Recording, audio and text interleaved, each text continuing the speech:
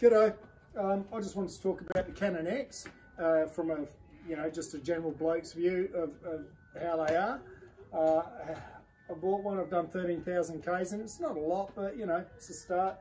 Uh, this one is a great car as far as I'm concerned, but it does have a couple of issues and I want to talk about those as well as the good bits, obviously. Uh, I fitted a Provent catch can on it and I think this is essential for any diesel. You might want to fit a pre-filter, but to be honest, I've got a fairly clean fuel supply and I don't do up north a lot, so I, uh, I haven't yet anyway. So I wouldn't be fitting one just yet. I might do later if I decide to do some up north trips.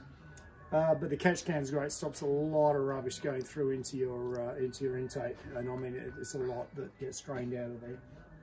Now, one issue I want to bring up straight away is the problem that they've got with their fueling on acceleration from a standing start. It just, it, seems to almost stall. It stutters, it doesn't quite smoothly accelerate. And I don't understand why Haval have not put out, or GWM have not put out a um, software fix for this. It's a fueling issue. It should be a no-brainer, uh, but they haven't. You can buy a module. It's a couple of hundred bucks. It's an easy fix. Uh, but I, I, you know, again, why should you have to? But obviously, I'm going to have to, um, because when you're pulling out into traffic, it can be dangerous. Simple as that, as far as I'm concerned. I'm sure everybody would agree. Okay, apart from that, uh, the engine seems really solid. Two litre turbo diesel, nothing wrong with that at all. Uh, look, they've been making them forever. They go well. It, you can sit on any speed on the highway, fully loaded. It seems fine. It doesn't struggle at all. Mind you, I don't do a lot of big towing. I fitted a tow ball to it and I tow my trailer to the tip. But, um, you know, look, it, it, it, I think it'll be fine. It, has got plenty of grunt. Uh, it's not a Ferrari, but it, goes well. Drives really well. It's on HTs at the moment. Um, I've not changed them. It comes with the Cooper HTs, as you know, by standard. Um, when it goes to new tyres, I might put the ATs on, but again, I don't do a lot of rocky sort of stuff. Uh, I do a little bit, but mainly my full driving is beach sand and really boggy beach sand. And with that, this is fantastic. No problems at all. Even up steep gradients in the beach boggy sand, it just works away nice and slowly and gets its way up there. Got to have your tyre pressures right, particularly with the H2. I think with any tyre, you should have them right. Sand, I generally work at around 18 to 20. I've never had a problem with those pressures. I've never needed to drop it any lower. It seems to just keep going, no problem. So well done on that. I mean, don't forget it does have uh, diff locker and it does have all these uh, assists in it that, that work particularly well. Uh, we're going to focus on the outside just now. Okay, so you've got a great tub here. And I love this vehicle for the tub. I love this feature. This feature is fantastic. Um, it, the soft open, it's just perfect. Like, you know, there's no worries about it going bang. And you know, I used to hate that bang on the older ones. This, I like to call it my old man step because I'm an old man. But it's also really useful if you're carrying things in and out, as you can imagine. It makes it much easier to lift things in and out. Uh, the tub itself is lined with this beautiful liner. Look, I'm not going to go through the specs because you're going to see those in every other video. I saw those and it didn't help me decide to buy it that much. The specs were good. But the tub is huge, the liner's great, it's tough. Um, fits everything I need to chuck in it. Mountain bikes, windsurf, uh, surfboards, friggin' wing foils, you name it. Just goes straight in there, no drama. I don't have to worry about it too much. Um, let's have a look now. I think that's done the exterior. Oh, it's good solid. No problems with the exterior. It's got a few marks on it, but that's me, me and the kids treating it like a car, I suppose. Going into the interior, you've got this really nice large interior for the family, uh, for your friends. There's plenty of legroom, plenty of space in there, and it's really nicely appointed with all that leather trim on the and the leather seats in particular are very comfortable. Lots of airbags. It's got a five-star NCAP rating now. Talk about the adaptive tint though. The uh, the salesman, and he was a bit of a challenging one, let's say. Uh, yeah, he told me it was adaptive the whole way around. Clearly it's not. I mean, if that's adaptive, there's something wrong. It's just a pane of freaking glass. On the back though, it is all, all three back windows are tinted beautifully, no dramas at all. And they work really well, but I will be getting tint on the front. Um, I would have done that sooner, but uh, uh, for some reason, I believe they were adaptive. And, and, and, ah, what do you do? Now, in here, you got the nice leather seats again, and these are very, very comfortable seats. I've got mates who are six foot four who's sitting them going down south for a surf, and they're super comfortable. As you'll see when I get in, I'm six foot.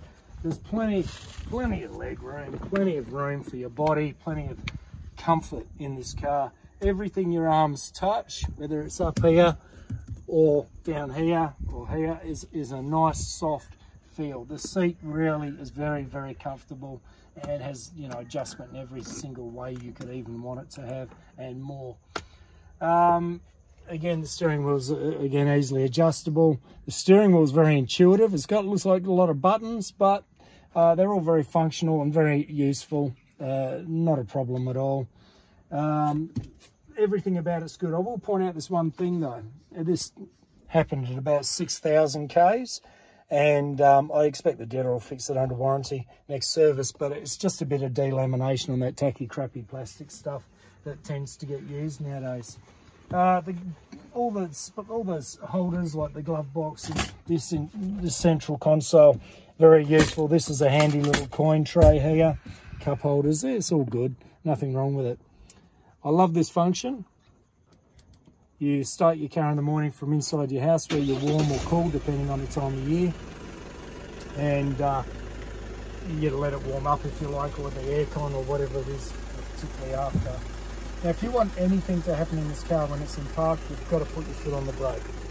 Okay, so we're doing that, and it's just going through its startup process now, but you can see nice display in it, really clear and easy to use and I'm just going to go to the um, lane keeper assist because I want to mention this as a function. The lane keeper assist is a pain in my ass because every single time you get into the car you have to go through this rigmarole to turn it off. Now you might want to leave it on but personally I, I find it quite annoying because it moves your wheel, sort of forces your wheel left and right when you might not necessarily want it to do that. Um, in fact, I don't like it at all. So every single time I get in the car, I have to go through this. And that's pretty much the same with my heat seat, uh, my, my driver's comfort when I want to heat the seats. Um, because what happens is this car does not remember my settings in that respect. And I find that pretty frustrating. It would have been easy to program it to remember it, but it didn't. Okay, uh, apart from that, all the, all the, you know, sort of the, the eco and the sports and you got full low, you've got diff locker, you've got hill descent, you've got all that stuff. You even got three different steering modes. You can have a light mode, sports mode, comfort mode, all these different modes. They're great. Um, I just leave it on light. Um, the adjustable headlights, all of that stuff is brilliant. But the aircon could be stronger, in my opinion. I don't think it's as cold as I like it. Uh, the fan seems to blow okay, but it just doesn't get cold enough for my liking. But this thing annoys me. This is the air vent fully up and fully open. Now you close it by going down. There's only one problem with that. If I want the air to come down at this part of my body, it tends to shut the air off and it doesn't really pass this point here. So it doesn't pass about a foot and a half from the actual vent. And if I want it to go even lower, just a little bit lower, on my legs maybe, you can't, because it just shuts it off. So that frustrates me a bit. Now, I'm just going to turn this off. The key's great. I actually took this key for a swim, left it in my board shorts without realising it. But the key started the car after I got out of my swim and realised what I'd done. I was like, oh no. But it wasn't a problem. When I got home, pulled it apart, thought I'll have to clean it right out and get some, you know, electrical uh, spray. And But no, it was completely sealed unit. So well thought of, GWM. I'm sure other manufacturers think of these things too, but it just says to me this is not as budget as people like to think it is. And you know, you can tell by the, the way the doors open and close and all the fixtures and fittings on the car, it all works really well. It's all been thought out really well. Um, did I go through the camera? I didn't. But the cameras around this car, the, the, display for a start is brilliant, nice big screen, but the cameras are brilliant. You have a bird's eye view, you have a 360 view around the car, you have uh, cameras at the front, you have cameras at the back for reversing, and they all work incredibly well. Um, so uh, I've got to say, all in all, the Cannon X by GWM, Haval Motors if you like, is a really good car. And at 42 grand, I, I think if you look at comparable vehicles on the market, I just don't think you can go past one. I, I, to be honest, I'd, I'd buy one. Oh, and I did.